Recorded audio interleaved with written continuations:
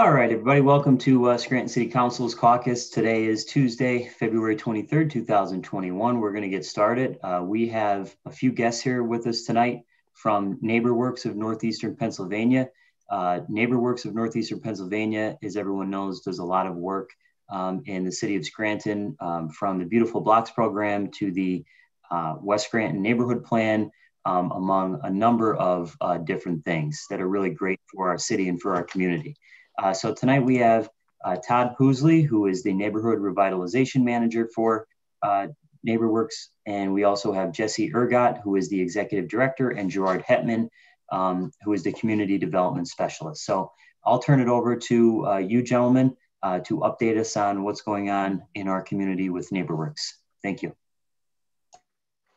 All right, thank you so much, and thank you for this opportunity just to uh, to meet with you and talk a little bit about some of the exciting uh, programs and and projects that uh, NeighborWorks Northeastern Pennsylvania is undertaking uh, in partnership with the City of Scranton in many cases. So I'm Jesse Ergott, and the CEO, as uh, as was mentioned, of NeighborWorks Northeastern Pennsylvania. Uh, Todd and Gerard are going to take some time here and fill you in on some specifics on a few of the programs that we're currently working on. Uh, I know earlier today we sent over some information uh, via Lori about the uh, partnerships that we that we currently have in place uh, with the city for um, a number of the initiatives that that we're working on. Uh, we also send just some general information about our organization and the and the program lines and and the types of services we provide. So I won't spend uh, really any time um, going into detail on those because hopefully you have uh, those in front of you. Um, but um, we truly appreciate the opportunity just to to uh, to come before this group and and talk about again some of these exciting uh, initiatives that we're undertaking in 2021. So uh, I want to make sure we have enough uh, time for you know for any questions that you may have on on what's presented to you by Gerard and Todd. So I'm going to turn it right over to them. So thank you. Thank you. Thank you, Jesse, and thank you to Council for having us come in this evening, uh, virtually, of course. This is our going into now our third year of the Beautiful Blocks program, and it's our second year uh, speaking to Council in a caucus format, so we're pleased to be with you this evening.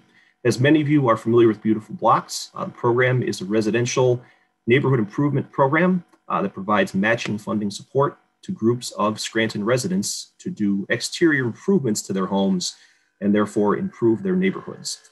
Uh, so again, beautiful blocks, we make matching grant awards. We see groups of at least five Scranton residents uh, living in close proximity. They don't have to all be on the same block, but they do need to be relatively close. I would like to say within one turn or so around the block or to the next block to each other. Um, what that does is the improvements made make a concentrated F, concentrated impact in the neighborhood, uh, both in terms of physical improvements, where instead of just seeing scattershot repairs here or there, you see numerous improvements made in a noticeable area. So that improves not just the look, but also the feel, the walkability, the usability of the neighborhood.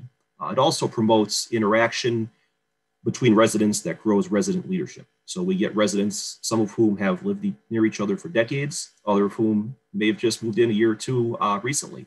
Um, they get talking, they get working, and they just become more neighborly, and that improves everything that we want to see in good neighborhoods, uh, from neighbors helping each other uh, to just keeping the neighborhood clean and, and usable, walkable, functionable. It just makes a really good improvement uh, concentrated in those block groups that we award funding to. Uh, so going forward, the 2020 program was our second cycle, a really good year. Um, I'll turn it over to Todd here for just a moment. You'll see one of our resident groups. It's the Roundwood neighbors from uh, the St. Anne Street area in West Scranton. Um, and then we'll come back and talk a little bit more on some of the program specifics, but I'll let Todd share that video for just a moment.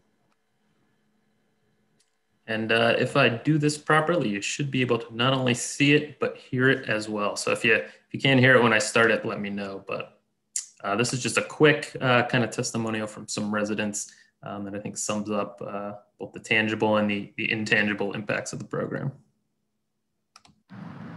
Okay, ready when you are. All right. So go ahead, Alice. I'll give us your name first with the spelling, first and last name. Okay, my name is Alice Caulson, A L I C E C A U L S O N. It's Anne McNally, um, A N N E. Nancy Noone, N O O N E. Sure, it's Mary, M A R Y, O'Hara, O apostrophe capital H O R A. Okay, great.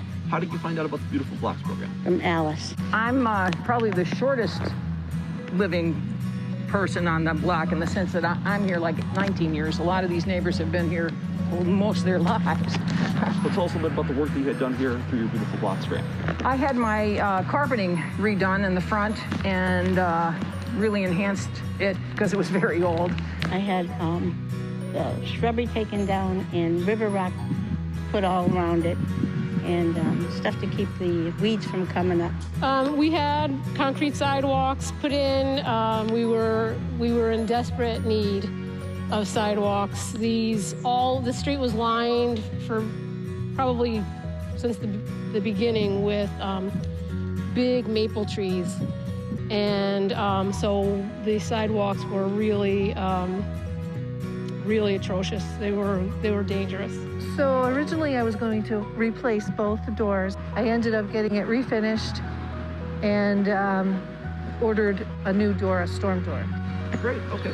What would you say that participating in the program has done for you? Have you enjoyed it? Have you talked to your neighbors more? What do you think? Definitely, we've talked more, you know, about it and everything, and it was it was really a nice experience all the way around. It's been wonderful because it's uh, brought us together even more. You know, being able to talk about the grant and what everybody was doing and what we could do to enhance the neighborhood and just uh, brought us uh, more congeniality to the folks around.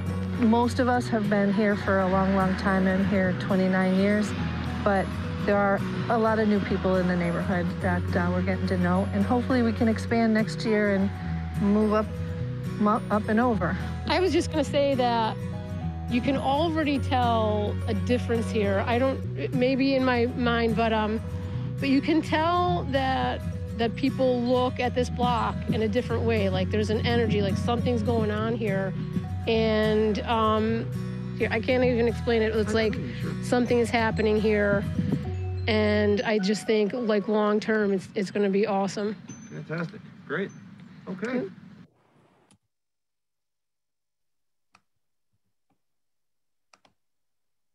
Back to you, Gerard. All right.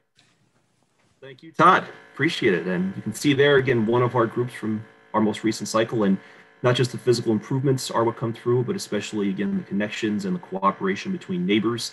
I'm doing that in a safe way in this COVID environment, but uh, again making connections and, and growing bonds in the neighborhood to do good things and keep neighborhoods clean and safe and said walkable and, and great places to live. So in our first two cycles combined, we've seen a great impact in our neighborhoods. Over our first two years, we've seen a total of 183 household projects completed. So some of those between year to year were returning, uh, but we did have a lot of new folks in our second year. Uh, we do set up the program so that for years two and now in year three, we require uh, groups to have at least some new participants. So we don't want to discourage returnees, but we also want to make sure that they're growing in their leadership and inviting new residents in to be a part of the process and make improvements.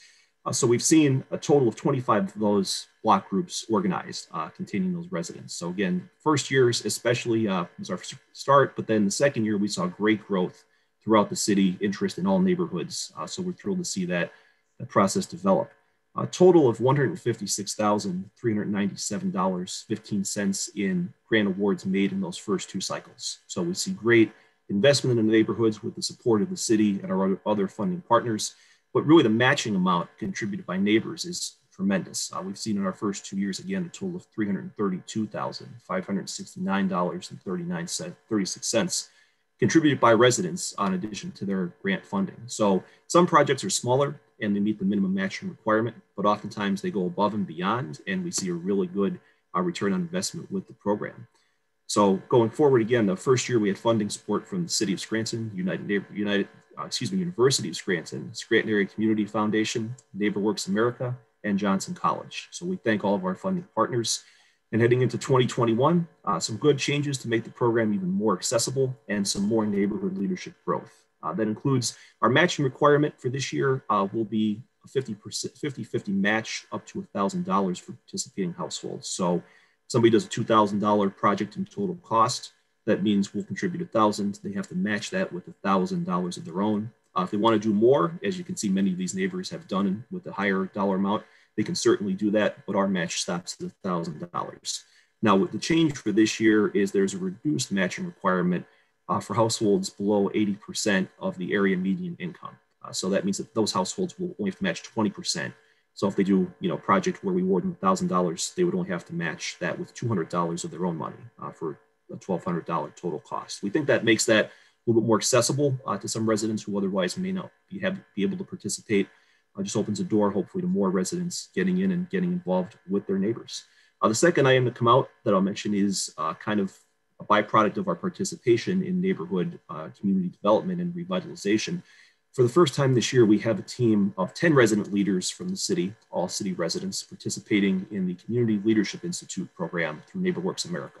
So we've got 10 community leaders, uh, different folks with different backgrounds from neighborhoods throughout the city uh, who are learning and growing and working together, learning through NeighborWorks America community development training that's provided virtually. And later this year, they'll be working together on a community service project to make a difference in the city. Out of our 10 team, lead, team participants, four of them participated in Beautiful Blocks last year. So we see a direct relationship there.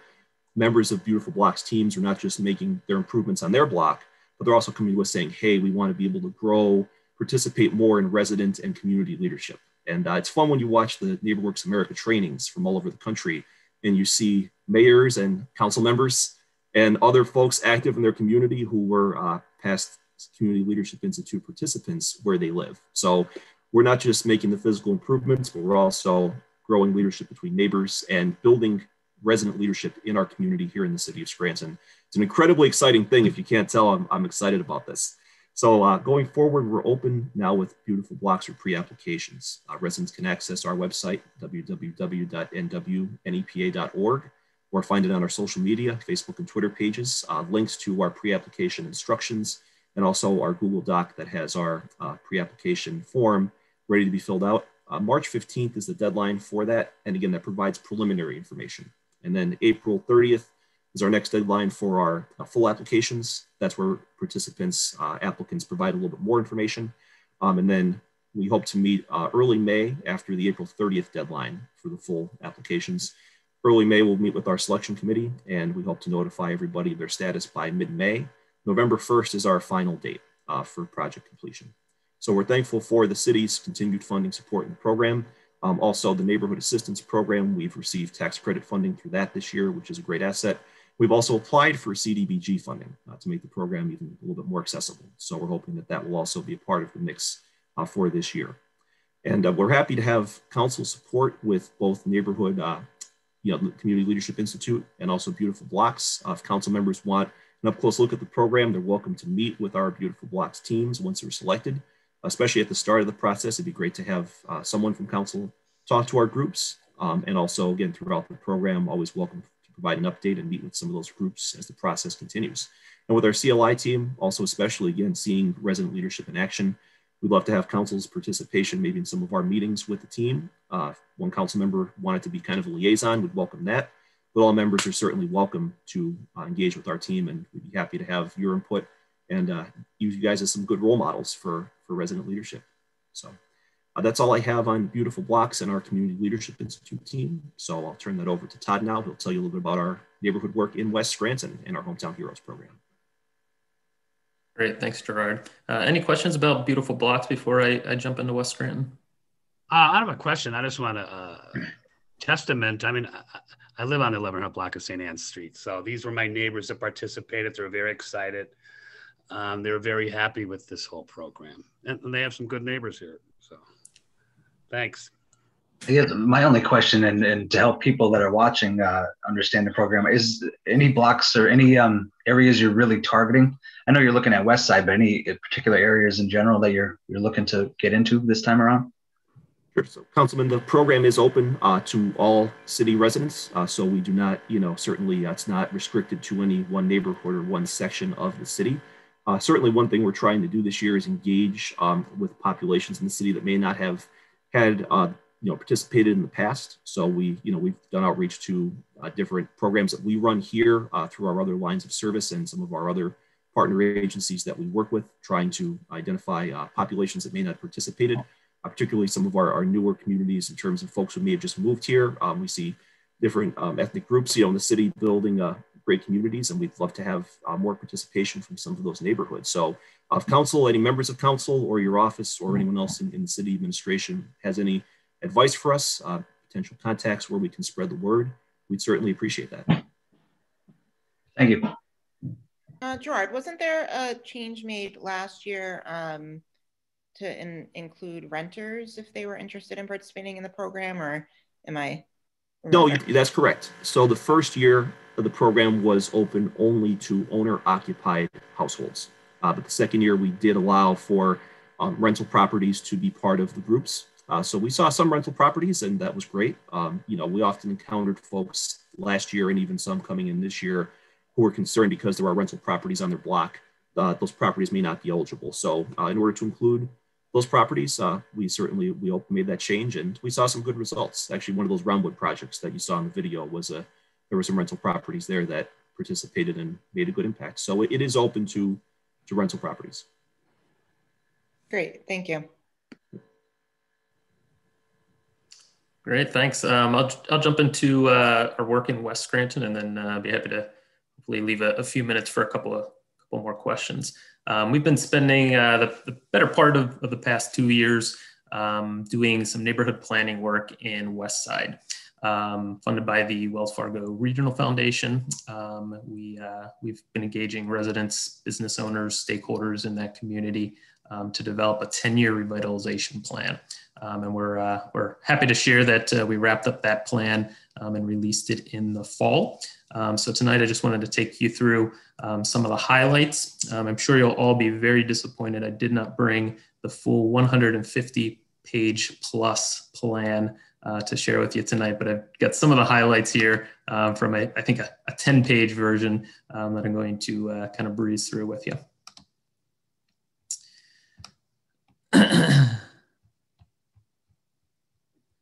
Um, as I mentioned, we spent uh, a considerable amount of time engaging residents in the neighborhood. Um, what we didn't want to do is uh, develop a plan with uh, lots of things that we thought uh, would be good improvements for the neighborhood without uh, talking to the people who live there and work there and own businesses there. So um, we were real intentional about engaging as many different people in the neighborhood as possible. Um, we did that in a variety of ways. One of that one of those ways was through a door-to-door -door survey. Uh, we actually sent out volunteers uh, for the for the better part of uh, of a summer um, and had them knock on doors. Um, I think we had somewhere close to 200 people respond to the survey, um, and we learned a lot about their experiences living there, what some of their concerns were, what some of the opportunities were in the neighborhood, um, and all of that inf information informed uh, the strategies in our in our final neighborhood plan. Um, to give you a, a, quick recap, we we collected lots of data through the, the surveying. Uh, some of the things that uh, folks tended to like about the neighborhood, um, just uh, the people who live there for one, which is uh, always a great starting point. Um, you'll be happy to know that uh, most of them told us that the quality of the public services, police, fire, ambulance service, garbage, uh, things like that um, were, were satisfactory. Some of the things that they thought needed improvement were really around some of the physical conditions of the neighborhood. So, um, you know, the condition of, of streets and sidewalks came up, uh, blight came up a lot, um, vacant, abandoned properties, things like that, um, which are all things we're going to try to address through this plan. Um, as I mentioned, time and time again, people told us that the, the reason they lived there was the other people who lived in the neighborhood. Um, 58% in fact uh, believe that they could work with their neighbors to solve uh, some of their own community problems. Um, at the same time, uh, we also heard in general that uh, most people thought things weren't really changing in the neighborhood um, and that they didn't really expect things to change much um, in the future. Um, so, you know, we, we took that as, uh, you know, there, there might be a little bit of apathy in, in the neighborhood. There might be a little bit of, um, you know, just, just some hesitation um, some sense that, uh, you know, although they might want to make improvements to the community, they didn't kind of know where to start. So we're approaching the, the plan in, in that, um, you know, in, in that vein. Uh, through the planning process, we, we kind of identified five different uh, target areas um, in, in the neighborhood that we wanted to focus on, and I'll go over uh, each of those quickly. Uh, the, the focus areas um, in, in, general for the strategies uh, kind of broke down into uh, these four here. First is community character. That's the things about the neighborhood that make it unique, um, say from other neighborhoods in, in the city. Uh, the commercial corridors, uh, in this case, Main Avenue and, and, Luzerne Street are primary commercial corridors. So uh, we focused on those and, and, what we could do to support the businesses there. Uh, services and amenities in general. Um, so those are the, the community services that are, are available to uh, the residents of, of West Side, um, along with things like parks, schools, the open spaces, um, things like that that you know folks would consider amenities in the neighborhood. Housing is the fourth category, of course.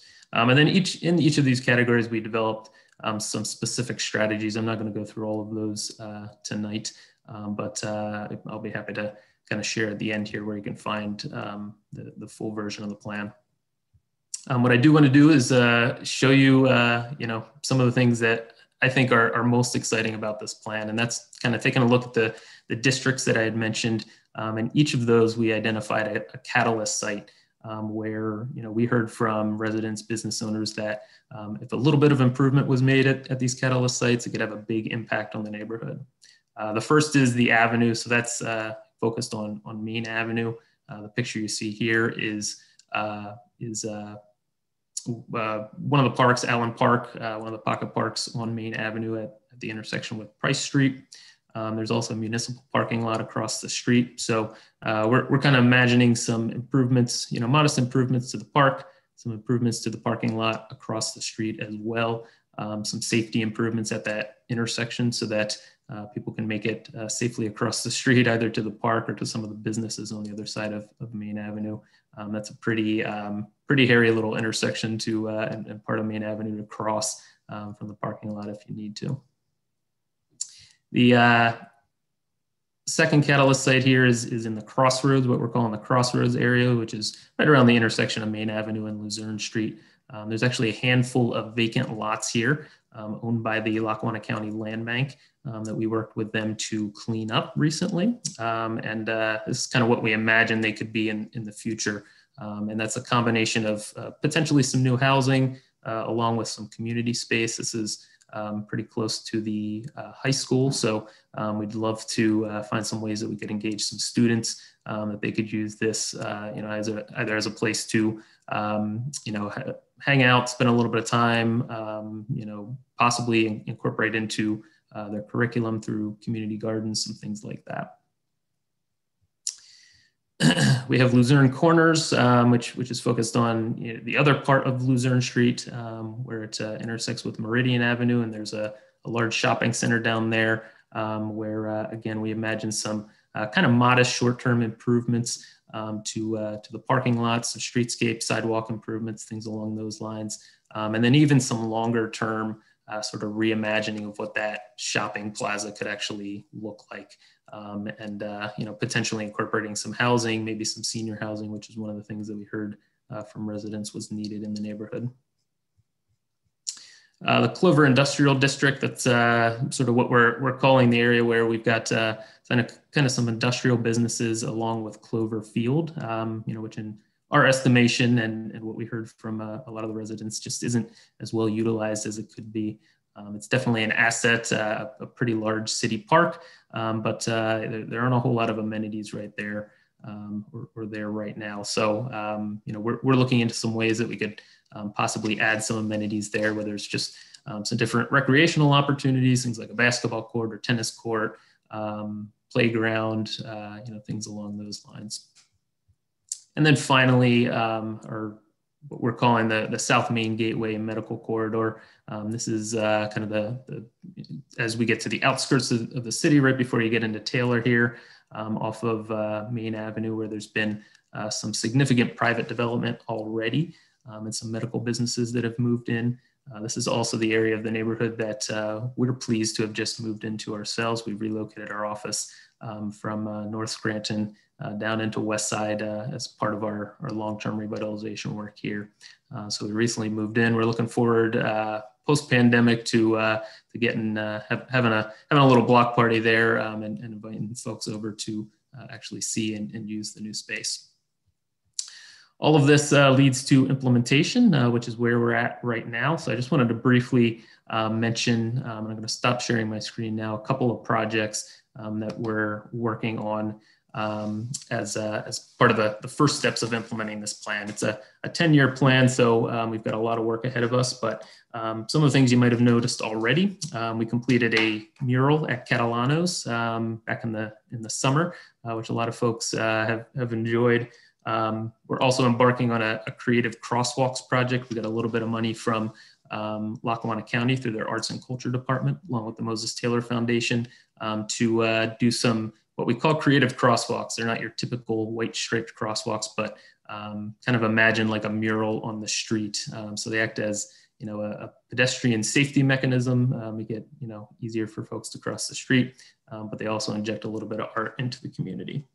Um, I mentioned the Luzerne Street uh, lot cleanup, so we've got those lots cleaned up, um, and we're looking to do now uh, a full site plan to, to sort of figure out what we want to do with those properties. Um, we're also focused on some commercial corridor improvements. Um, I mentioned the parking lot across from uh, Allen Park that we're focused on. Uh, we did put in a CDBG application for that as well to uh, work with the city and make some improvements there. Um, and then finally, uh, we're going to be applying for a designation called the Keystone Communities designation, um, which uh, if you're familiar with the Main Street and the Elm Street programs, um, this is uh, just a, a, similar designation that kind of combines the two programs. So um, and that does require a, uh, a, a, resolution letter of support from the, the city. So um, likely in the next couple of months, um, city council will be uh, seeing a request from us, uh, you know, for your support for that designation. Um, and then finally, I wanted to wrap up here, um, you know, couldn't, couldn't end here without mentioning um, the Hometown Heroes Project. which is uh, a project uh, Councilman McAndrew, uh, I, I, know has, has shepherded and, and been a proponent of. Um, and uh, we've been fortunate to work with him and a team at Leadership Lackawanna uh, to actually get it up and, and off the ground. So um, the Leadership Lackawanna team is working right now um, to uh, kind of design the program for us. Um, and the idea is that we will pilot it in West Scranton, um, kind of launch it publicly around Memorial Day. Um, and then after that, uh, hand it over to the city and, and expand it citywide. So it's, a, it's a program you're probably familiar with, lots of other municipalities uh, near Scranton have them. Um, it's a banner program to recognize uh, veterans. And um, it's, it's we sort of announced uh, recently and uh, applications aren't ready just yet, but will be soon, but we've already received a, a whole lot of interest about it. So um, we're excited to launch that um, and uh, hope some of you will be able to join us for, for a little launch event around Memorial Day. Um, I'm going to wrap up there. Um, I hopefully have a, a few minutes here if anybody has um, any questions. But thanks again for, for the opportunity to provide uh, provide the update. Um, you know, we're really excited about uh, all the work we've been able to do with the city, all the work we're going to continue to do with the city going forward. Thanks, Todd. That was great. Um, does anybody have any questions for Todd, Jesse, or Gerard?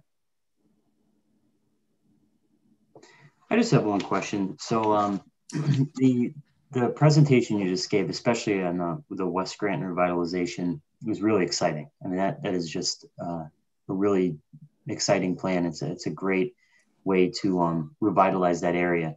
So, what, in your opinion, are the biggest hurdles that you encounter as an organization trying to implement a plan like that um, over a 10 year period? Um, Good question. Uh, I, I, would say, you know, for one, because it is so long range, you know, these are projects that, um, you know, are, are will, will likely take multiple years to develop. Some of the some of the ones, you know, projects I, I just described are kind of quicker, early implementation projects that we can get up and off the ground right away. But um, you know, when we're talking about, you know, taking um, almost a full city block of, of, vacant, blighted properties, cleaning them up and redeveloping them. Um, that's going to be something that's going to take a long time. So um, it's pulling together the partners, um, you know, getting all the, the right people at the table um, and pulling together the, the funding um, long term to, to make these projects a, a success. you know, we recognize that, you know, this, this is a NeighborWorks plan. You know, this is, this is the city's plan. This is the neighborhood's plan. you know, we aren't the only ones that are going to be working to accomplish these things our role, we see it is, you know, bringing all of the, the partners to the table um, to work with the city, uh, you know, to, to make these changes. And, and so far, we've had a lot of success with that. I agree. Thank you. And the vision is there, which I think is really important. Um, so we we consider us as always a partner in that. And um, you know, I, I, just I really appreciate the work that all of you have done. Um, it's it's really phenomenal. great stuff. Um, does anybody else have any questions? Yeah, I guess. Uh, sorry, go ahead, Kyle. I just have one quick one. Um, did you say where we can get a copy of the full report? Uh, you can get a copy on our website, um, so okay. nepa.org. Um, I would be happy to send uh, both the, the full report and the highlights version. I can send links to Lori and, and have her um, send those out to, to all the council members. Great, thank you. And thank you for all the work you're doing over there. I think this is great. Absolutely. So yeah, all the projects look great. When I'm looking at you know the main avenue sections, um, I know that land is is is land that's ready to be uh, revitalized, and the, the piece from the land grant over on Luzerne Street is um, is owned by the land bank. When I'm looking at uh, the Clover piece, which is uh, it's a big expanse there, is all of it, is all of that land um, available to be revitalized, or does any of that land need to be purchased off any any landowners in that area, or it's all it's all open at this point in time. Sorry, which uh, which area were you referring to? Over near Cloverfield. Oh, Cloverfield. Um, yeah. So so the park itself um, is is city owned. Um, some of the areas around there are, um, you know, in, industrial businesses. Um, so, uh, you know, we, are going to be reaching out to them. Um, you know, what we're looking for basically is, um, you know, to, uh, you know, hopefully work with them as kind of good neighbors in, in the neighborhood um, to uh, you know make some improvements, not just to the park, but um, you know some of some of the exteriors, fences, and things along along their businesses. So um, the park itself, uh, you know, is, is owned by the city, but um, some of those other areas are, are owned by some of the businesses. Okay, and then one one question I actually got in was for the Beautiful Blocks program. Um, is it only five neighbors, or more than five could be involved in that project? Or the better, Councilman. Uh, we require a minimum of five neighbors, but uh, we do encourage uh, more. Uh, certainly, you know, we did see some groups come in with, you know, five or, or a few more than that. But we also saw groups last year of, you know, 15, 17, 18 uh, participating households. So they, you know, are, that's how we encourage groups to do more uh, if they can. It spreads the benefit and gets more neighbors involved. So please, if people want more, they can certainly certainly do more than five. it's most welcome. Okay, great. Thank you. Um, I just wanted to say thank you for for coming tonight and for providing us with an update. I'm always excited to hear about um, what you guys have in the works uh, with NeighborWorks because I think it's um, it's really helping the the neighborhoods and the community. Um, I think the 10 year plan for Westside is is very exciting, um, and so I was happy to get more details on that. And then Gerard, I know you had mentioned um, about uh, if any council members want to come down or meet the teams. And I'm always happy to do that. And as a former participant in um, in the Beautiful Blocks program too, prior to my um, serving on council, uh, you know, I'm happy to meet other uh, other neighbors who are doing the same. Thank you. Great. And I just want to say a, a big thank you again to all of you for for the support and uh, for the time that you've given us. You know, as you can tell, we have a, a fantastic team with with uh, Gerard and Todd kind of spearheading a lot of these programs and a lot of other uh, things that we do in partnership with the city, like the Scranton Homebuyer Program and, and some other things that we work on with OECD. So we're excited about the momentum that's being built um, through this partnership. You know, we've we've had a almost 40 year history here of, of working in the city and, and looking forward to many, many more um, positive and productive uh, years ahead. And um, you know, the what you're seeing is just kind of a uh, a little piece of of what we do, but you know, we couldn't do it without the partnership and support of of council and the city administration and, and many other partners. So we truly, truly appreciate it. I don't know. I don't have any uh, questions, but I have a, a couple comments. Um, as a West Sider, I'm thrilled with the West Side plan. Are you kidding me? It, it's it's it's fantastic. Everybody uh, is excited about it. Um, but I also want to applaud you for all the other work you've done throughout the city and you continue to do. So thanks for coming. Thanks for updating us. And, and of course, we look forward to working with you. Great. Thank you. Thanks. Okay. Anyone else ha- uh, like to add anything? Okay, gentlemen, thank you so much. Hope you have a good night and uh, we'll stay in touch. Thank you. You too. Thanks. Thank you. You too. Bye bye. Thank you.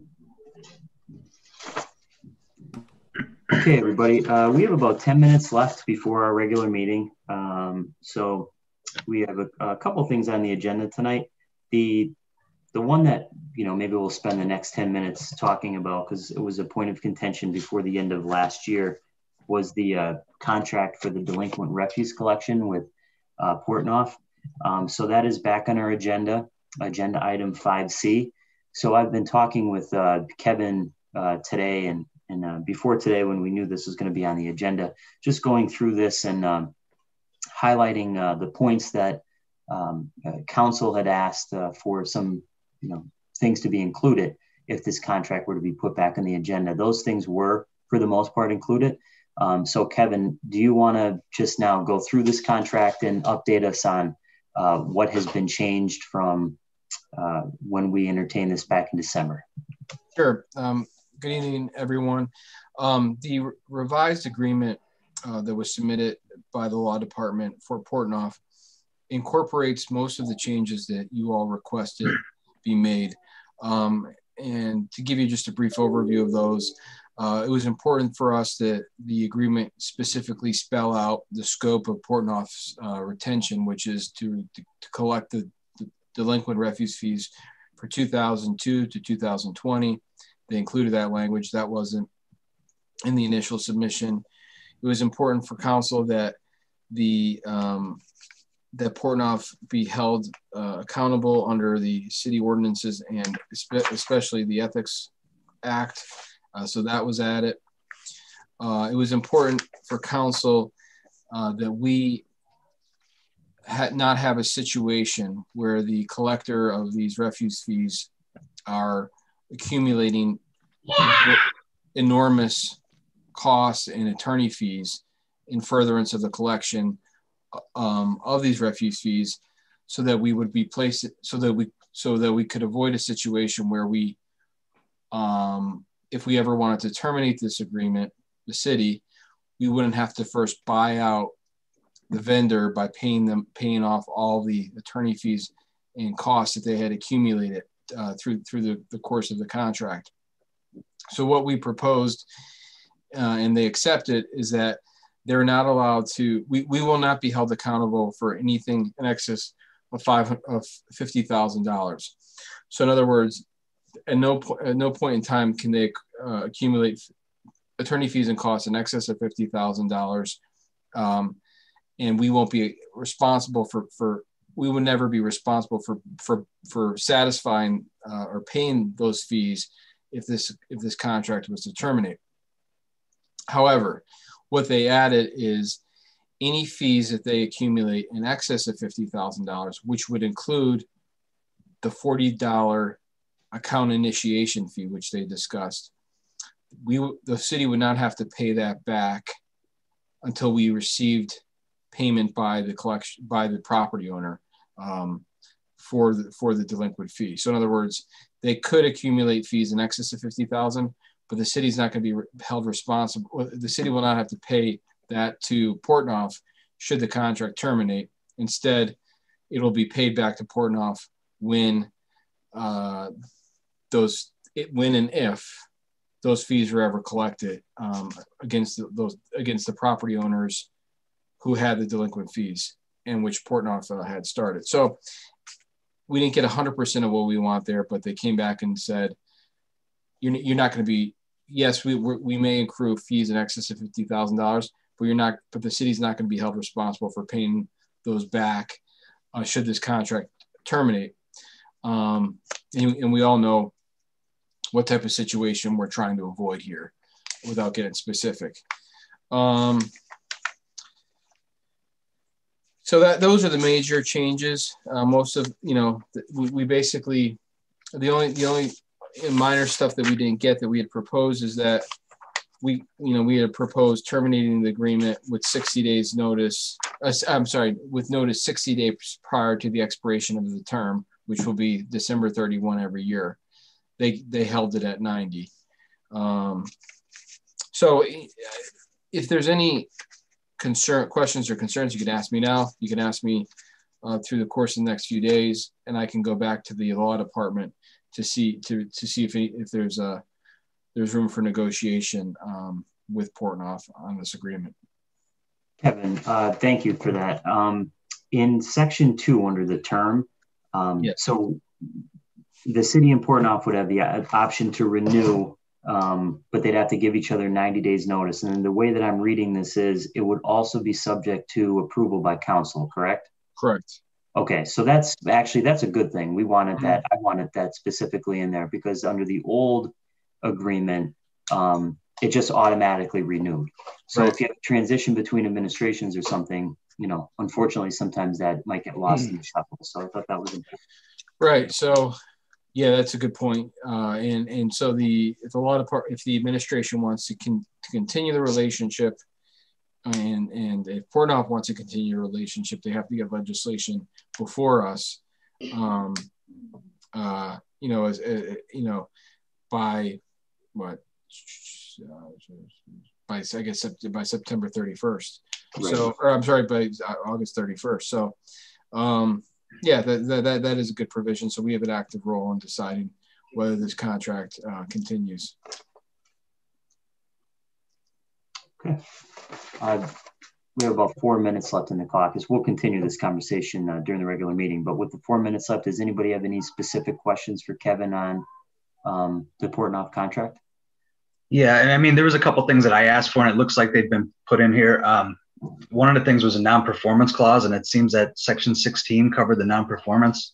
Is that satisfactory to you, Kevin? Um, so we added all of that language, yes. So that was they accepted all. That is basically all the language that we drafted, uh, paragraph 16, except for the last phrase that says um, subject to the fifty thousand dollar or um, or costs in excess of fifty thousand dollars being being paid by the city upon upon collection thereof by the city or the city's third party collector. That's all. That's all of our proposed language that they accepted. Okay. Yeah. So yeah, the, the few things that I asked for, it seems like that are in there. Um, was there any discussion about that? Um, I mean, I don't think we want to call it amnesty, but um, I'm, you know, when we're looking at this, they're going to take what a 15% uh, fee from any collections. Right. Mm-hmm. Um, was there any discussion of I, this? I mean, this isn't what we're talking about right now. We're talking about the agreement, but um, you know, I'm looking just to see, you know, anything that's out there right now. If that gets brought into us, um, the city's getting 100% of that money um, rather than um, subject to those fees. So I don't know if there has been any discussion about that. So um, all the discussions directly with Portnoff are with the law department. So I what the, the way it's it flowed is that I gave my requested revisions or council's requested revisions to the law department, and then they shared them with Portnoff, and what we got back was largely what we requested. So, um, but I was not a party to any discussions regarding any the amnesty or grace period at all. No, thank you for that because yeah, everything that I I think was asked for is is in there. Um,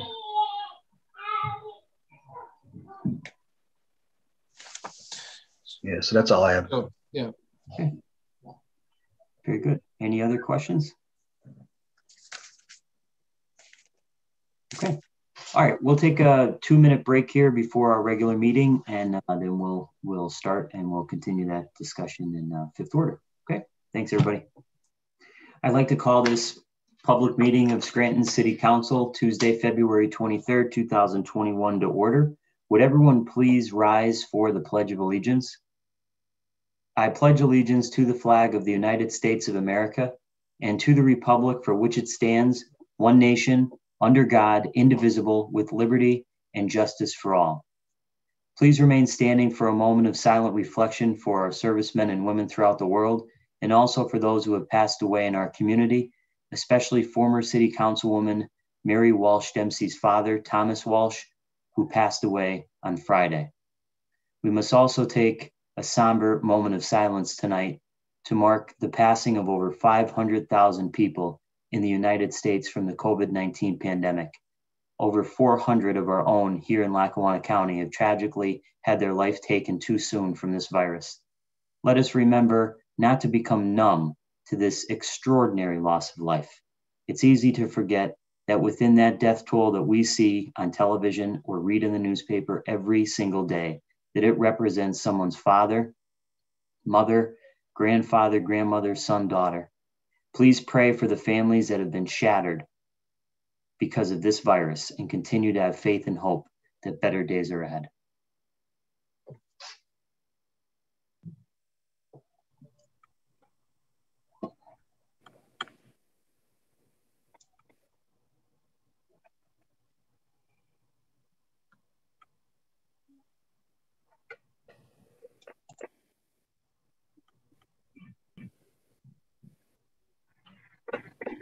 Thank you.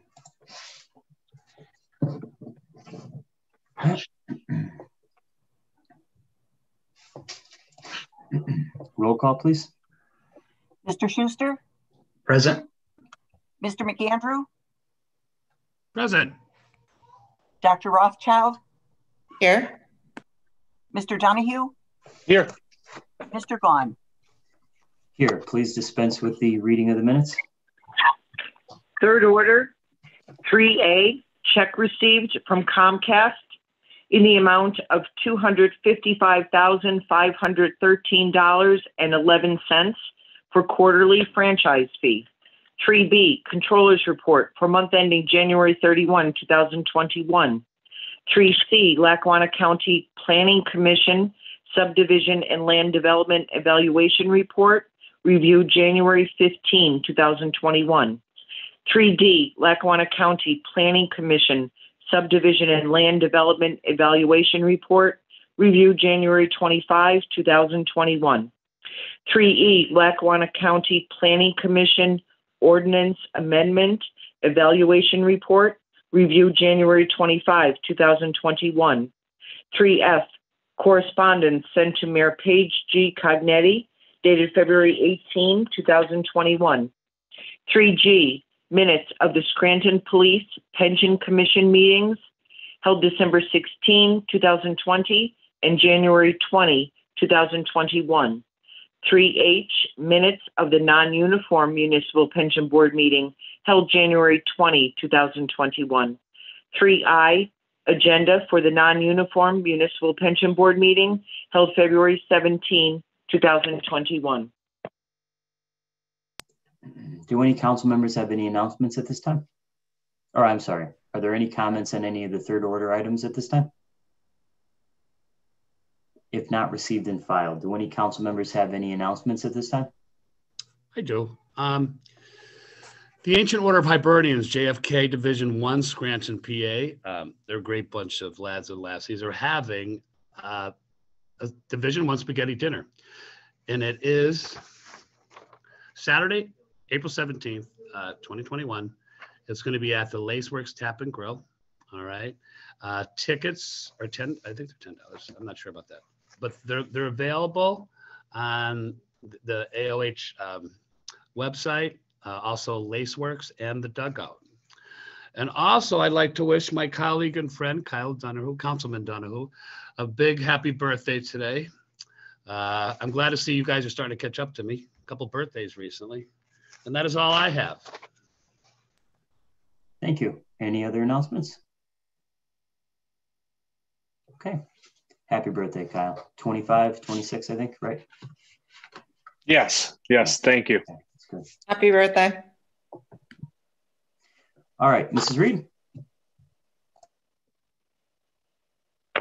Fourth order, citizens participation. At this time, uh, would someone please make a motion to accept public comment from the following individuals, Patricia Nestor and Faye Franus? Make a motion to accept public comment. Second. There's been a motion and a second to accept public comment. Um, Mrs. Reed, would you please read the comments into the record? Thank you. The first submission is from Patricia Nestor as follows. If the housing in Scranton is so affordable as you all claim, why is Weston Field turned into a homeless shelter? Hasn't anyone told them? The second submission is submitted by Faye Franus as follows. Council, last Tuesday, February 16, 2021, I emailed you my questions. Two very specific questions that I asked to be answered. Mr. Gaughan deliberately did not answer. Why? Because he can and he always does. Tonight, the citizens may hear more spin and sidesteps from Mr. Gaughan. It is a shame we, the citizens, have to wait yet another week to come back and address things Mr. Gaughan evades at the meetings before. It's a definite pattern. I shall give you an example. Mr. Gaughan, when I asked weeks ago to try to help the people of Bellevue with the trucks, he went on his lecture tour telling me council does not do this type of work and that you are there to pass legislation and not to enforce them. Only the city can do that. Then in his next breath, he went on to say, Council has directed the police to enforce the signs on Third Avenue. Now, I am paraphrasing there, but I certainly can get Mr. Gaughan's exact words. He was asking the police to help out, which is good, but he made it a point to let me know he cannot do that. Check City Council minutes of the meeting. You can see Mr. Gaughan's exact words. I am fully aware of what Council can and cannot do, but I also know they can also step in and help the city with these issues in Bellevue if they so choose. Back to last week, I asked why does council not allow citizens to zoom in live to ask their questions and get their answers live during the meeting? I also asked what can council do to help the people make this possible? I also said other meetings have citizens zoom into their meetings to address their comments and questions. To this response came my little lecture again. Mr. Gaughan said council likes getting emails and encourages everyone to write in, and he gave out the email and street address to write them in. He then went on to say, We try to answer all the questions. Well, at that point, I just thought, what a smooth political statement. That was not true at all. Bill Gaughan, excuse me, did not answer my question at all. He completely kept jabbering about how people can write in, and they have been doing this since the pandemic. I know all this. We all know this. What I want to know is why can't we zoom into the meetings live to ask our questions? Not a peep out of Mr. Gaughan about that. Why? Because council does not want us asking questions live because they would not want to have to answer them. What's more, they do not want to have to be put on the spot. Mm-hmm. If I if I were at that meeting last week, there is no way I would have immediately said, Mr. Gaughan, you have not answered my question. And guess what? He either would have to or he would not. But he would be seen for what he is. This council has gotten away with so many shady replies. They know they can get away with it because we are not there to rebut them on the spot. So, yes, I would like an answer to that question. And since you get our emails before the meeting, you certainly have time to reread my questions from last week and you have time to figure out how to reply to this email so you get the last word again. This cat and mouse game is very frustrating. All this coming back a week later to challenge you on your replies from the week before would never need to happen if the citizens were able to zoom into the meeting live to ask our question. Then we would just click off. Is that actually asking too much? And no, we do not want to wait until the summer or early, or early fall. That's a cop out. Just answer my questions. When you have people speak at a caucus, they get zoomed in very easily. So why can't we? Simple question. The other question you refused to answer was why is Scranton classified as a 2A city? I did not believe there were enough people in Scranton to qualify as a 2A city. I also said even after the census is completed, Scranton still will not have enough people to be uh, a city even if you didn't know, you could have offered to find out for me, but Mr. Gaughan said nothing. When Janet Evans was president of city council, never once did she give people lectures and tell them we are only here to legislate. You have to call the city. Janet Evans, Frank Joyce, and attorney Boyd Hughes stayed at those meetings sometimes until 10 p.m. Why? Because they made it a point to answer everyone's questions. And if they had to go to the administration to find things out, they did. They never once asked a citizen to do a right to know request. They also never deliberately refused to answer anyone's questions, hoping maybe it might not be brought up again. Mr. Gaughan, I have never seen anyone as thin skinned as you. You can never be wrong. You can't handle being questioned about why you didn't do certain things, which are many, by the way. So if by chance, Mr. Gaughan, you actually answer my questions, I will be grateful if you don't, I will be right back here next week talking it again about what you didn't answer this week. Don't you get tired of making excuses instead of speaking the truth? Try it sometime. You may find it refreshing. And that is all the public comment for this evening. Thank you. Thank you, Mrs. Reed. Uh, anyone on the question? Um, on the question, and that, you know, going to get into the back and forth with Ms. Franus on some of the bizarre things that the manifesto that you wrote into us tonight. Um, but I will say this, I, uh, the question last week about the, the uh, class 2A city, Scranton being a class 2A city, um, I, I, didn't gloss over that. Uh, I had to do a little bit of research on it, and I did send that to Ms. Franus. There's a, um, uh, a government uh, handbook, a city government in Pennsylvania handbook that I had sent her uh, this afternoon. Um, it's it's a long, uh, winded answer. I'm not going to go through every portion of it, but for those of you who are interested, uh, Scranton qualified for a second class city status all the way back in 1900. Um, the reason why we're still a, a, class 2A city is for a couple different reasons. First of all, our, our population did drop uh, significantly, as everybody knows, since the uh, 1930s and 1940s. Um, and we've been given several legislative reprieves to keep our status as a 2A city. Uh, it's only uh, Scranton and the city of Pittsburgh. So in the document that I had sent to Ms. Franus to answer her question that she had asked last week, um, one of the things it does point out, and we all know that the special status that we have as a 2A city also allows of special laws for Scranton. For example, the LST rate that we're able to enact for $156. Uh, that's a benefit of being a class 2A city. And there's many, uh, many other uh, items as well. I believe a few years ago that uh, Councilwoman Evans and, and uh, the, the previous council that she was under did pursue changing the uh, city's status to the third class. Um, but it's it's complicated. It's not as easy as just clicking your fingers and making that move because we may lose some of the uh, benefits of being a class 2A city. So again, this is a, a lengthy document that I had sent to Ms. Franus, so hopefully she takes some time uh, to read that and uh, hopefully that answers her question. Uh, as for the Zoom, uh, Zooming in live, I answered this last week, but I'll answer it again. Council uh, gives the public the opportunity to ask any and all questions. And I do my best personally to answer any and all questions. Now, if you ask me how far the Earth is away from the moon, um, I can't come up with that question off the top of my head. Some things require a little bit of research and uh, you have to look into things. You know, I don't claim to have all the answers to all the questions that are posed.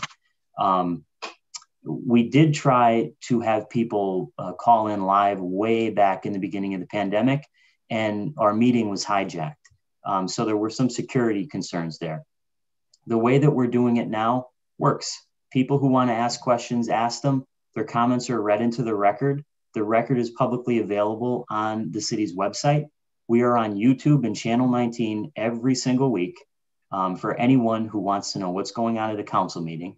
The legislation is available, including all of the backup, if anybody's interested on anything that we're voting on. And if anybody has any relevant questions about the legislation, we certainly, and I certainly, entertain them every week. So that's number two. Uh, and finally, Marie Schumacher had a question about the number of people quali- qualifying for uh, the alerted designation, designation. And we did get that information. That was six people from 2019. So there's an answer to that. Any other uh, people on the question? Okay, all those in favor of introduction signify by saying aye. Aye. Aye. Opposed? The ayes have it and so moved. Fifth order, 5A motions. Councilman Schuster, any motions or comments? No, nothing at this time. Councilman McAndrew, any motions or comments? Yeah, I have uh, just something to report. So I've been receiving um, a lot of questions and concerns about um, the garbage fee being in the bundled in uh, with with the taxes. And and I mean of course we think it's, it's a, it is a great idea. Uh, but the, the, concerns and questions and I had a great conversation with uh, City Treasurer Mary Jo Sheridan last night um, and I feel that her some of them some questions or, or pose some of them questions to her and concerns like one being and here I'll give you an example. So say um, you have an escrow account okay? Most people do um, my understanding is that you know it's not unique to this area having fees embedded in with the taxes like the library tax or like abington does Jermyn does. But there's some mortgage brokers that are outside the area uh, and one resident came to me and said they're like what are we supposed to do with this? It's a fee. You know what i mean? We do a we do an, a, a tax analysis and spread everything out. We do a tax analysis in say september october and that's when we spread everything out over 12 months. This is this is this is unique to us. So that the concern from that resident is like well can i still pay my garbage fee? Because maybe they're not going to pull it out or or maybe they're not going to get it in in time. So i asked that question. I, I saw that we recently received an email and the, the frequently asked questions are on the website the city's website now which is great. It doesn't address some of these concerns but it addressed a lot of them. Um, some other questions were well can i you know do i pay the whole thing you just write one check and that answer is yes. Do um, uh, are the taxes built into the into the city in the school district? Yes they are. What else did i ask? So now here's what i was told by by the tax office i mean sorry by uh, uh, the treasurer that you know what it's the responsibility of the resident to notify you know their bank or their mortgage company that this is coming okay that they need to plan to you know that, that it's included in there. So they have to escrow so they have to do that pull out more $300 a month you know $300 a year over 12 months. So i mean i did say that you know maybe we should have put um, maybe an insert explaining that because residents are concerned about this. And, and they're confused. Uh, what else did they say? Um, they, have, they understand the layout of it all right? And, and it goes back to some of the stuff we just said um, but I was told and reassured that the, the, Treasury's office is, you know, please call them. If they don't, if, if you can't get through them once, call them again. You can, you can, they're willing to help. They're there to help. Uh, they also, um, you know, they'll definitely get back to you. They'll work with you. Um, uh, and, you know, uh, my understanding is the first year is going to be, there's going to be some adjustments. Um, my, also, they also told me that they've been working on, and, and completed a lot of what we brought up last week. Uh, the exoneration process for, you know, say someone owns a duplex, doesn't want to run off the other side. That process is, is happening. People are getting exonerations, which is good. So that they need, again, to communicate with the, the treasurer's office. Another thing that was brought to me too was, in addition, we have received numerous complaints from constituents that the single tax office is only allowing those paying cash to come inside the office um, and pay to get the receipt upon payment. Seniors in particular have complained about this because uh, not being able to go inside because they want to pay by check.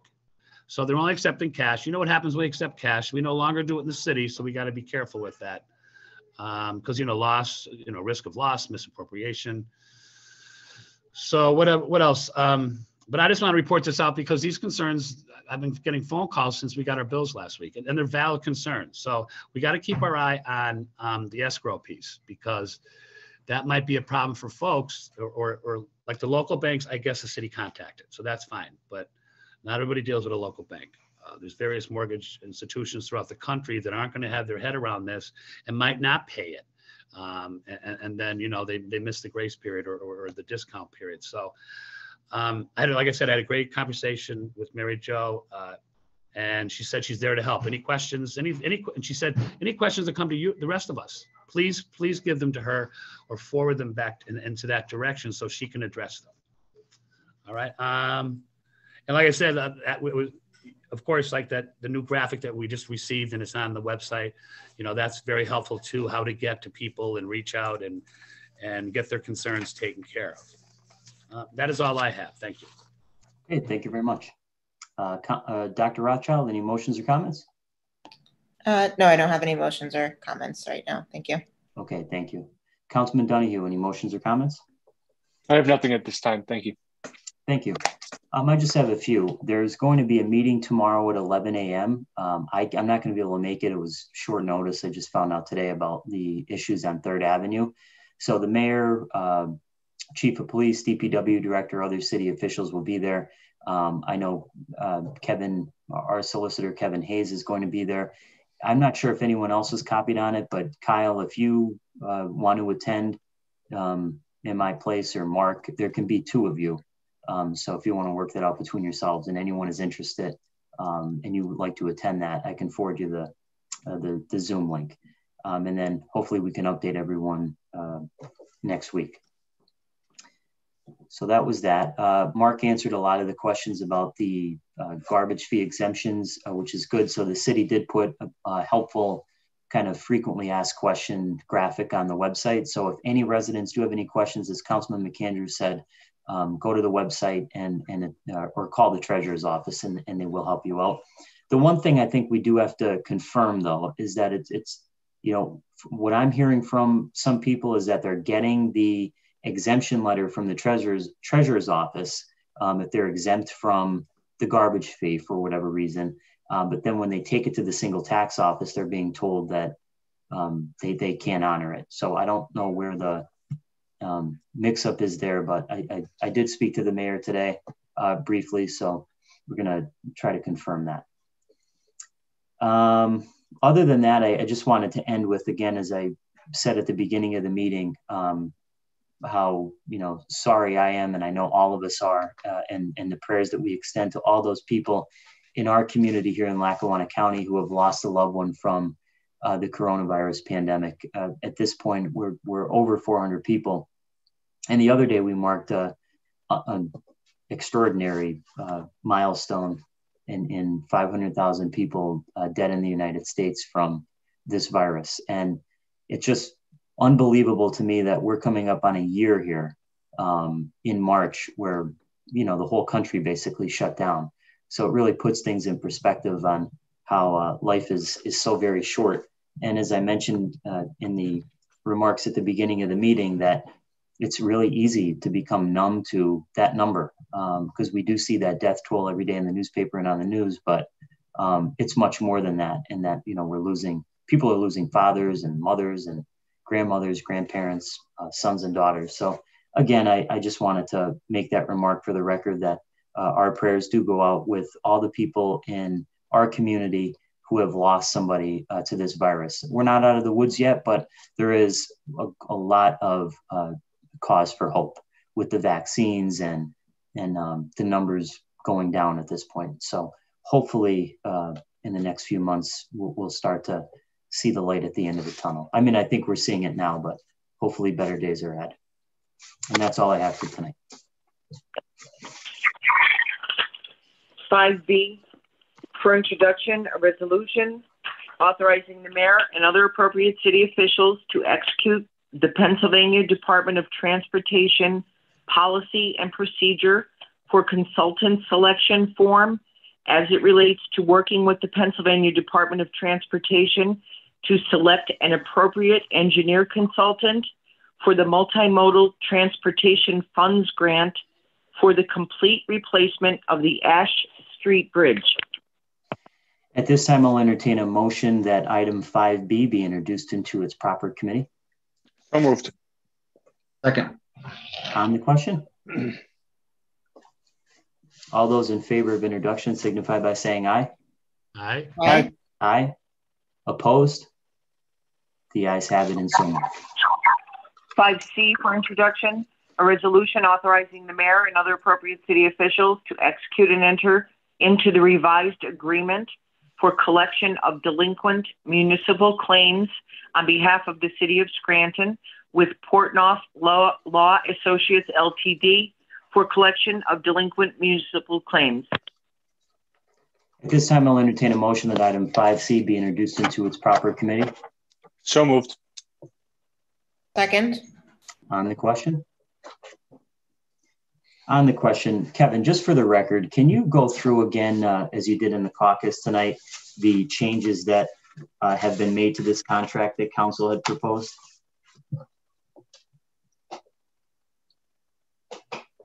Oh, you're muted, Kevin. Sorry about that. That's okay. So the uh, the amended agreement uh, between uh, the city and Portnoff, uh, first it specifies the scope of the contract, which is consistent with the um, the RFP. Uh, the scope being that they're they're tasked with co collecting the delinquent refuse fees from 2002 through to, through 2020. Um, the agreement would begin uh, would, would would expire in December of 2022. Um, the the city and Portnoff, if they wish to uh, extend the contract another year uh, an annual uh, beyond December of 2022, will have to come to council 90 days prior uh, prior to the expiration of the contract. Um, let me think here. What else?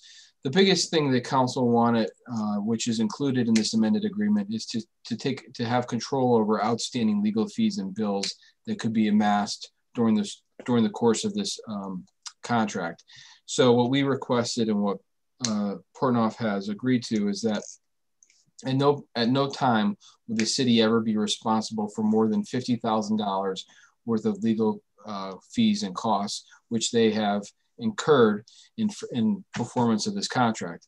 Um, why that's important because in the event that we want to terminate this agreement for whatever reason, not saying we would want to, but if we wanted to, at the time of termination, we wouldn't be we would we would not be responsible for any fees over fifty thousand dollars. And I think the members of council understand why that's important uh, based on prior vendors uh, and prior contracts that the city had engaged in prior administrations that being.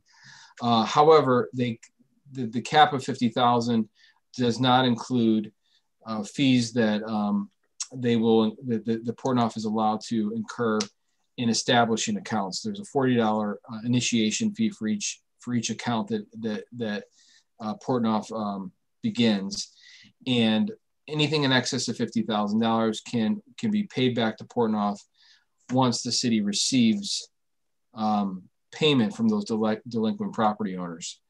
Um, so those are the major changes. Uh, most of oh um, oh we also the council proposed the specific uh, grounds for termination that the city would have, um, and those include any violation of any uh, criminal uh, criminal law, criminal statute, any violation of our the city ethics code uh, would be be grounds for termination, immediate termination. Again, we all understand why that's important here.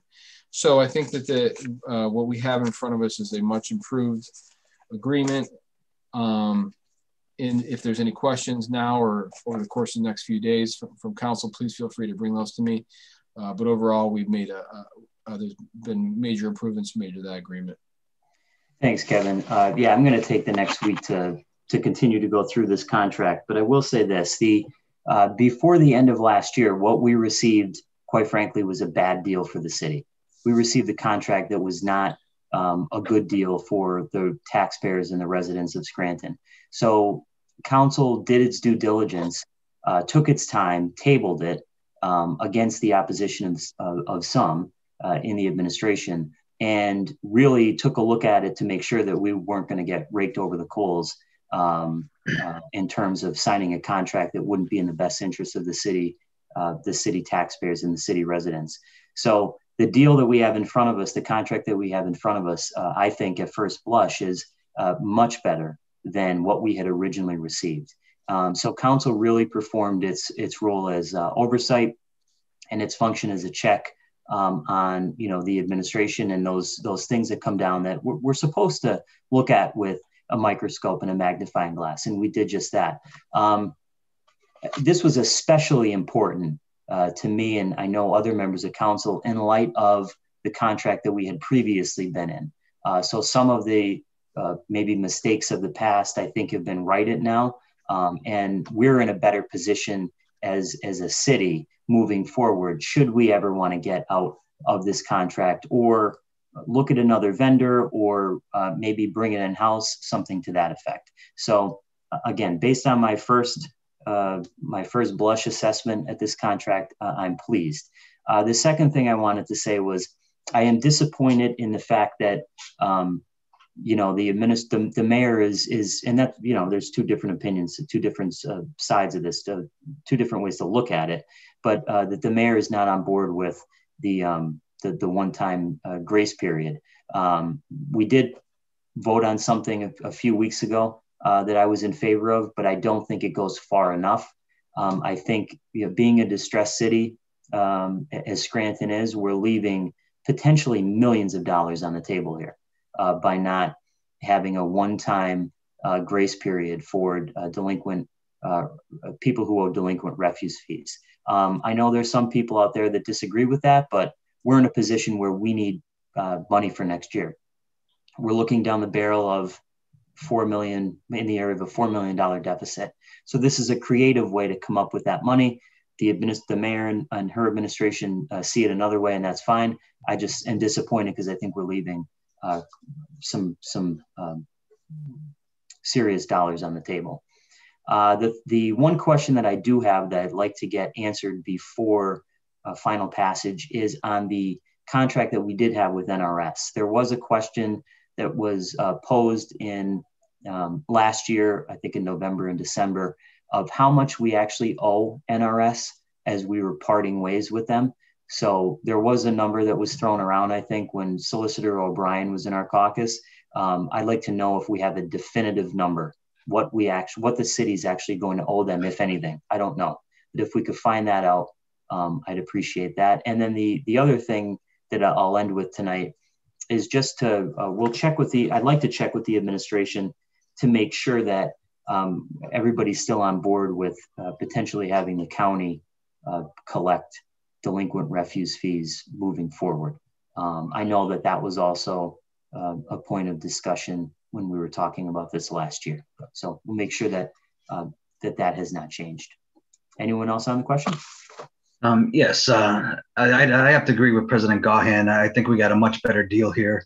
Um, my goal in looking at this contract um, a few weeks ago was to avoid the pitfalls and the mistakes of that last contract. And you know, if we were ever to get in a situation where we were unhappy with with the deal, we can get out of it without um, without having to pay the company off. So, um, uh, happy to say that the suggestions I put in uh, were um, taken into consideration and added to this, and at this point in time, I'm happy with the, what we have in front of us tonight.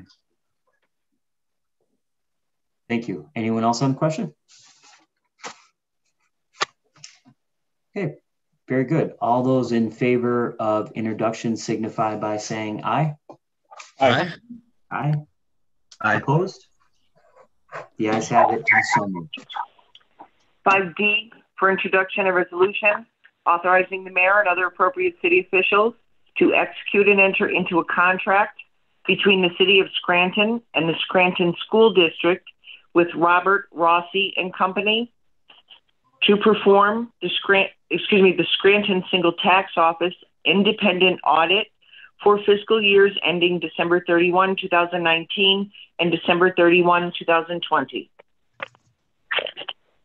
This time I'll entertain a motion that item 5D be introduced into its proper committee. So moved. Second. On the question? On the question, uh, Lori, if we can just get the other, who the other bidders were uh, for this and the bid amounts.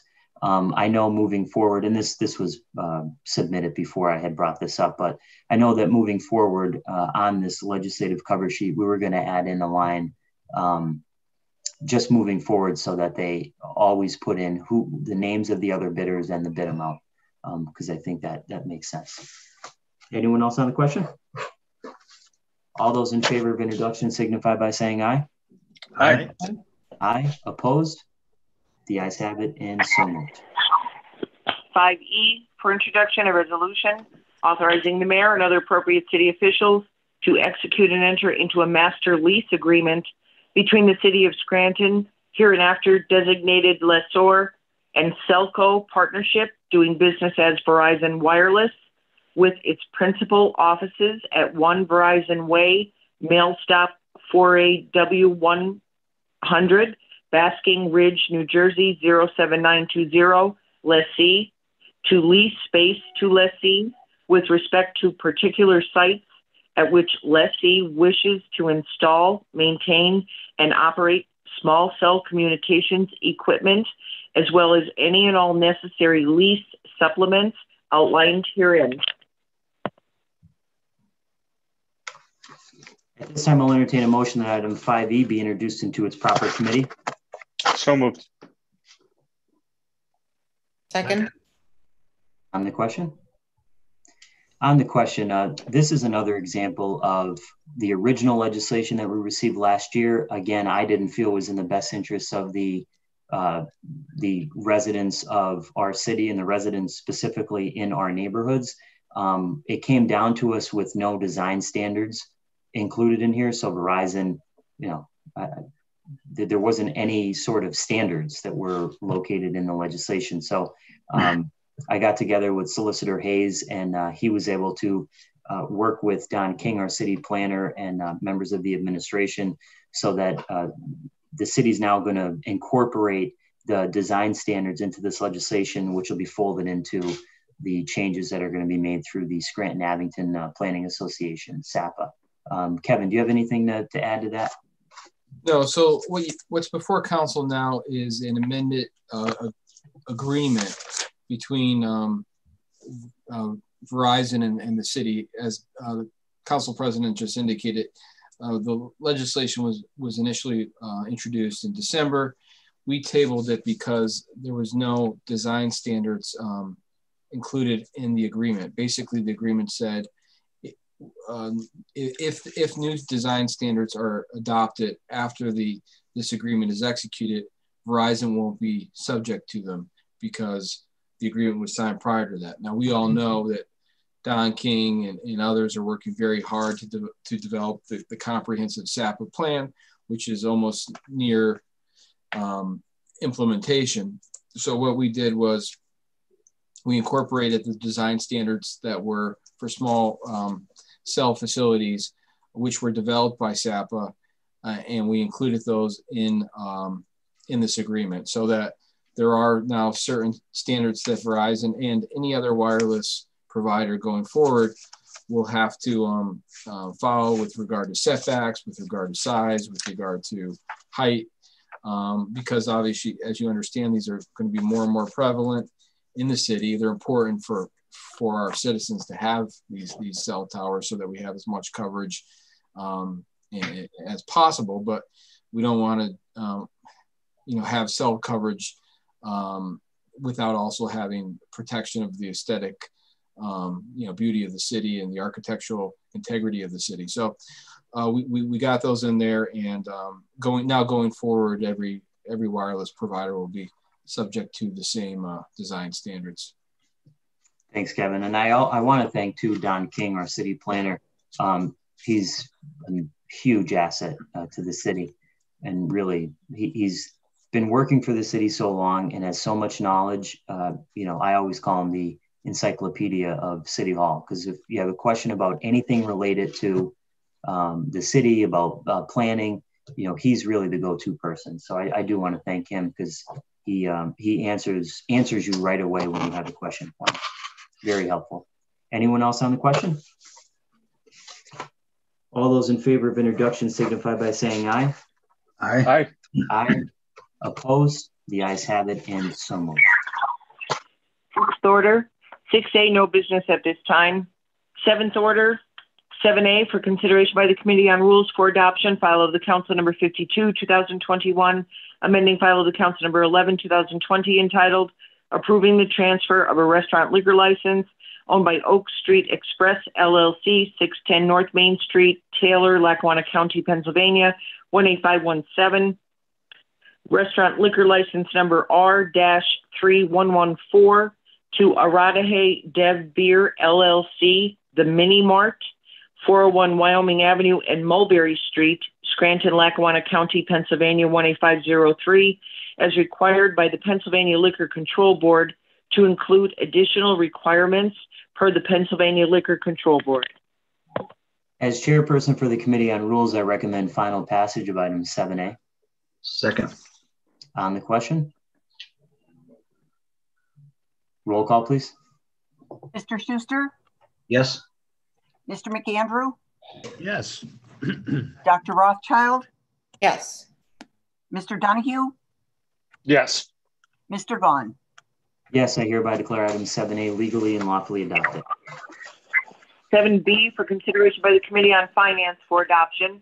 File of the Council number 53, 2021, amending file of the Council number 67, 2014, entitled, amending file of the Council number 52, 1903, entitled, an ordinance as amended relating to dogs, the licensing of, and dog pound therefore, and providing for a fund and regulating the payment of bills for the treatment for the prevention of hydrophobia by decreasing license fees by amending section 1A to change the fees of the current dog licenses for all dogs within the city limits. What's the recommendation of the chairperson for the Committee on Finance? As the chairperson for the Committee on Finance, I recommend final passage of 7B. Second. On the question? On the question, I'll be voting for this piece of legislation. I think it's very important that we do everything in our power um, to make sure that any type of fee in the city is affordable for our residents. The fee that was in place for the dog license was just, you know, it was very expensive and have to pay it every single year. It was very onerous on our uh, residents. So this brings it in line with other communities, and I think it's much more affordable. So I'll be voting yes. Anyone else on the question? Mr. President, on the question? Yes. Uh, on the question, um, Councilman McAndrew, you had inquire, you had asked me to inquire as to whether uh, the city currently imposes any type of delinquent fees or or, or penalties for failure uh, for dog owners to um, to to make the, to pay this license fee. And the response that I got from Eileen Cipriani is that they do not uh, they do not penalize people for not paying the license fee, and they don't pursue delinquent fees. Um, that's the current practice. Okay, thanks. I just want to wrap my head around the process because it wasn't right. clear. I, I, didn't understand it myself, so that's that's the uh, explanation I got. Thank you very much. Thank you. Anyone else on the question? Roll call, please. Mr. Schuster? Yes. Mr. McAndrew? Yes. Dr. Rothchild? Yes. Mr. Donahue? Yes. Mr. Gaughan? Yes, I hereby declare item 7B legally and lawfully adopted. 7C for consideration by the Committee on Rules for Adoption, Resolution Number 127, 2021, appointment of Jennifer Davis, 801 North Irving Avenue, Scranton, Pennsylvania, 18510, to serve as a member of the Planning Commission. Ms. Davis will be replacing Catherine Borer, whose term expired on December 31, 2020. The term of Ms. Davis is effective January 8, 2021, and will expire on December 31, 2024. As chairperson for the Committee on Rules, I recommend final passage of item 7C. Second. On the question? Roll call, please. Mr. Schuster? Yes. Mr. McAndrew? Yes. Dr. Rothchild? Yes. Mr. Donahue? Yes. Mr. Gaughan? Yes, I hereby declare item 7C legally and lawfully adopted. 7D for consideration by the Committee on Rules for Adoption, Resolution Number 128, 2021, appointment of Tom Welby, 119 Park Drive, Scranton, Pennsylvania, 18505, as a member of the Scranton Municipal Recreation Authority, effective excuse me, February 2, 2021. Mr. Welby will be replacing Gerald J. Smurl, who resigned December 31, 2020. Mr. Welby will fill the unexpired term of Gerald J. Smurl, which will expire on May 31, 2023. As chairperson for the Committee on Rules, I recommend final passage of item 7D. Second. On the question? On the question, uh, I want to thank Mr. Smurl for all of his work and uh, the way he volunteered up at Nay Aug Park and for the Recreation Authority Board. You know, these people that volunteer on these boards are the some of the uns, unsung heroes of the city of Scranton. You often don't hear about them, you often don't see them, but they're the ones that are doing the work. Uh, Mr. Smurl, I know, was up at Nay Aug Park day in and day out, still is, um, even though he won't uh, be on the board any longer. But he did a phenomenal job um, up there and really poured his heart and soul into the into that park. I want to welcome also Mr. Welby. Um, Mr. Welby does a lot for our community. He'll be a great addition to the board, and um, you know I'm starting to think that he is a body double because he's involved in so many different boards and um, does so much for the community. But he's he's a great addition, and and I know he'll do a great job. Anyone else on the question? Yes, thank you, Mr. Swir- uh, Mr. Smurl, and good luck, Tom. That's all. Thank you. On the question, anyone else? Roll call, please. Mr. Schuster? Yes. Mr. McAndrew? Yes. Dr. Rothchild? Yes. Mr. Donahue? Yes. Mr. Gaughan. Yes, I hereby declare item 7D legally and lawfully adopted. Eighth order, old business. File of the council number 50, 2021, amending section 709G of the City of Scranton zoning ordinance, prohibiting signs or displays that include words or images that are obscene, pornographic, or that an average reasonable person would find highly offensive to public decency. This piece of legislation was tabled following introduction and remains currently tabled. Next Tuesday, March 2nd, there will be a public hearing at 5:45 p.m. At the at that meeting, or I'm sorry, at the meeting immediately following, I will entertain a motion to place this piece in sixth order for its second reading. On March 9th, it is expected to be in seventh order for a final vote. If anyone wishes to speak on this piece of legislation or provide comment for the public hearing next week, you may do so by emailing lreed at scrantonpa.gov or by U.S. mail at Scranton Municipal Building, 340 North Washington Avenue, Scranton, PA 18503. Attention City Clerk's Office by 3 p.m. next Tuesday, March 2nd. And before we adjourn the meeting tonight, um, I did want to mention one thing I forgot to in, uh, during the earlier in the meeting. Uh, when I spoke to the mayor earlier today, she did inform me that the clerical contract ha has been approved by the clerical union.